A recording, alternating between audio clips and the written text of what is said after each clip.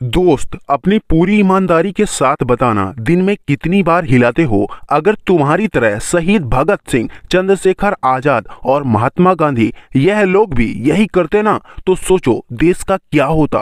वह लोग दिन रात इसीलिए संघर्ष कर पाए, क्योंकि उन्होंने अपने वीर को बचा के रखा और अपनी सारी शक्ति देश को आज़ाद कराने में लगा दी। और तुम लोग इंस्टाग्राम की हसीनाओं को देखते देखते गूगल पर गंदे वीडियो देखने लगते हो। तुम्हें खुद को भी पता नहीं चलता और तुम मानो या ना मानो, एक बात तो बिल्कुल पक्की है कि अगर एक बार तुमने गंदी वीडियोस देख लिए तो फिर तुम खुद को मैथुन करने से नहीं रोक सकते। और सच बता रहा हूँ, मैं तुम्हें ऐसे हज़ार एग्ज़ाम्पल दे सकता हूँ, जिन्होंने अपने वीर को बचाकर दुनिया को बहुत कुछ दिया। Steve Jobs, Tesla, Swami Vivekananda, ऐसे हज़ारों नाम हैं, जिन्होंने अपने अंदर की एनर्जी को बचाकर इतिहास रच दिया। अब आप कहेंगे कि मुझे कैसे पता कि एप्पल के फाउंडर स्टीव जॉब्स ने वीर को ट्रांसम्यूट करके एप्पल जैसी कंपनी खड़ी कर दी। आपके इस सवाल का जवाब मुझे मिला नेपोलियन की बेस्ट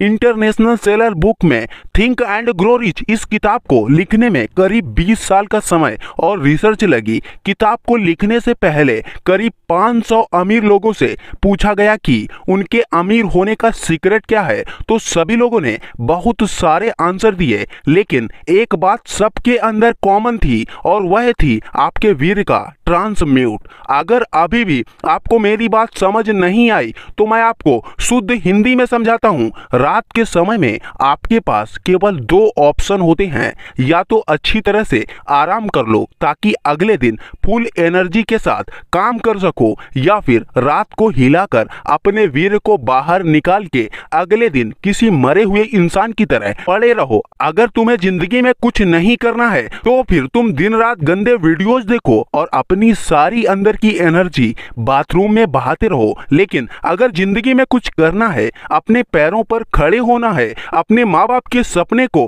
पूरा करना है, जिन्होंने तुम्हारे लिए खून पसीना एक कर दिया तो फिर आज की यह वीडियो सिर्फ़ तुम्हारे लिए है।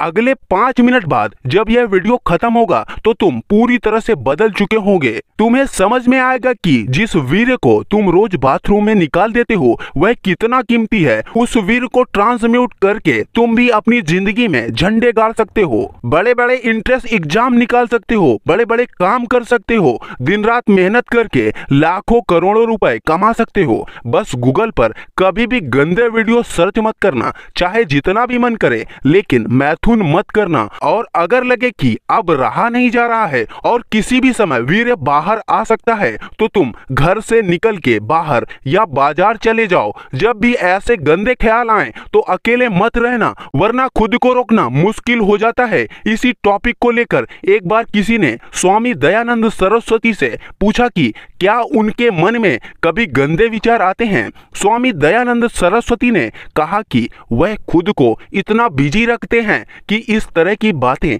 सोचने का टाइम नहीं मिलता। और यही राज है सक्सेसफुल लोगों का। यह लोग दिन रात इतने बिज़ी रहते हैं कि उन्हें हिलाने का टाइम ही नहीं मिलता है। और एक बात तो बिल्कुल पक्की है कि जब आप दिन रात बिज़ी रहेंगे और काम करेंगे तो आपकी सफलता पक्की है। क्योंकि इतना ज़्यादा काम करने के बाद आप उन लाखों लोगों से आगे निकल जाएँगे जो दिन में बहुत कम काम करते हैं। और यह बात भी बिल्कुल फैक्ट है कि दिन रात मैथुन वही लोग करते हैं जो नल्ले होते हैं, जिनके पास कोई काम धंधा नहीं होता है। और ये लोग इंटरनेट पर हसीनाओं की हॉट फ़ोटोज़ को देखकर अपना वीर निकाल देते हैं। इन पागलों को तो यह भी नहीं पता कि जिस वीर को आपने दो मिनट के मज़े के लिए कचरा समझकर फेंक दिया है, वह बनता कैसे है? हमारी बॉडी उन चीज़ों को पहले बनाती है जिनके बिना शरीर काम नहीं कर सकता। जैसे जब हम खाना खाते हैं तो बॉडी सबसे पहले कार्बोहाइड्रेट, प्रोटीन, वसा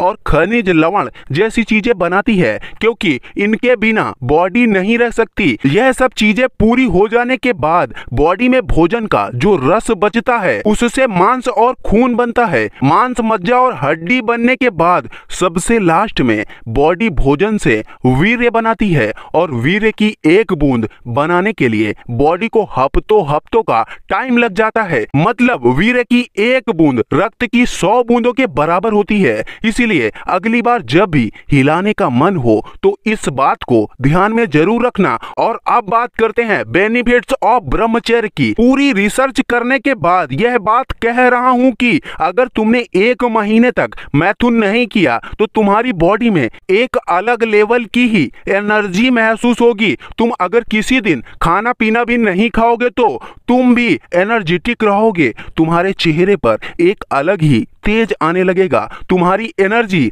लोगों को अट्रैक्ट करेगी। लोग तुमसे मोटिवेट होने लगेंगे। तुम्हें जानकर थोड़ी हैरानी ज़रूर होगी। लेकिन यह सच बातें हैं कि स्वामी विवेकानंद के चेहरे का वह ज़ोर एनर्जी देखकर लोग यकीन नहीं कर पाते थे। उनकी एनर्जी का लेवल इतना था कि विदेश की लड़कियाँ भी शादी के लिए प्रपोज कर देती थी। मैथुन करने से हमारा कॉन्फिडेंस लेवल कम हो जाता है। यह बात आपने भी महसूस की होगी। जिस दिन आप हिलाते हो और कीमती वीर को निकाल देते हो, उस दिन आपको बहुत ही शर्मिंदगी महसूस होती है और आपके अंदर पहले जैसा तेज नहीं होता है, क्योंकि हमारे सात चक्रों में से जो सबसे नीचे का चक्र होता है, जिसे मूलाधार चक्र कहते हैं, वह हमें क्रिएटिव फ्लोर में ले जाता है। मतलब हमारा फोकस इंक्रीज करता है और जब आप किसी दूसरे तरीके से अपना अपना वीर निकाल देते हैं तो हमारा क्रिएटिव फोकस कम हो जाता है। और आपने भी नोटिस किया होगा कि जब आप वीर को निकाल देते हैं तो हमारा मन किसी काम में नहीं लगता। मेडिटेशन अब आप सोच रहे होंगे, भला हिलाने से मेडिटेशन का क्या कनेक्शन है? दरअसल, आपने देखा होगा कि जितने भी ध्यान करने वाले लोग होते हैं, उनका खुद पर कंट्रोल होता है। वह किसी भी तरह की वीर निकालने की एक्टिविटी से दूर रहते हैं, क्योंकि जिस इंसान के दिमाग में गंदे विचार आएँगे, वह इंसान कभी भी मेडिटेशन नहीं कर पाएगा। और अब मैं आपको जो बताने वाला हूँ, उसे सुनकर आपके होश उड़ जाएँगे। एप्पल कंपनी बनाने से पहले स्टू जॉब्स इंडिया आए थे और नीम करोली बाबा से मेडिटेशन सीखा था। उनका मानना था कि तब तक कुछ बड़ा क्रिएट नहीं कर सकते, जब तक आप अंदर से शांत नहीं होते। आज हम लोग जो भी एप्पल के फ़ोन और मैकबुक चला रहे हैं हैं। उसका पूरा क्रेडिट स्टीव जॉब्स को जाता है और स्टीव जॉब्स ने भी अपने अंदर की एनर्जी को कंट्रोल में रखकर इतिहास रच दिया। इमेजिनेशन, कल्पना एक ऐसी चीज़ है जिसने इंसानों को चाँद तक पहुँचा दिया। मशहूर बॉक्सर मोहम्मद अली और स्वामी विवेकानंद इसके सबसे बड़े उदाहरण हैं। मोहम्मद अली लगातार नौ महीने अपने वीर को बचा कर रखते थे और फाइट करते समय उनके दिमाग में चल रहा होता था कि सामने वाले बॉक्सर का पंच कैसे करना है? कोई बंदा इतना फोकस तभी कर सकता है जब वह पूरी तरह अंदर से शांत होकर लगातार 12 साल तक ब्रह्मचर्य का पालन करने से आपके अंदर कल्पना की एक अद्भुत शक्ति आ जाती है, जो स्वामी विवेकानंद के अंदर थी। स्वामी विवेकानंद अगर किसी भी किताब को एक बार पढ़ लेते थे तो उन्हें वह किताब ज़िंदगी भर नहीं भूलती थी। दुनिया के सबसे बड़े साइंटिस्ट जीनियस कहे जाने वाले अल्बर्ट आइंस्टीन भी कहा करते थे कि imagination is more important than knowledge मतलब कल्पनाशील होना, ज्ञानी होने से अधिक प्रभावशाली होता है और ब्रह्मचर्य का पालन करने से हमारी इमेजिनेशन पावर बढ़ती है। और फाइनल में जाते जाते बस इतना ही कहूँगा कि यार रोज रोज मैथुन करने से तुम ज़िंदगी में कुछ उखाड़ नहीं लोगे, बल्कि एक दिन तुम्हारी वाट लग जाएगी। इसीलिए अभी तक नहीं बिगड़ा है, सम संभल जाओ। अपने वीर का सही इस्तेमाल करके कुछ बड़े बड़े काम करो और अपने माँ बाप का नाम रोशन करो। अगर इस वीडियो से कुछ भी सीखने को मिला हो तो वीडियो को लाइक करके चैनल को सब्सक्राइब ज़रूर कर देना। फिर से लौटेंगे एक नई मोटिवेशनल वीडियो के साथ। तब तक के लिए धन्यवाद।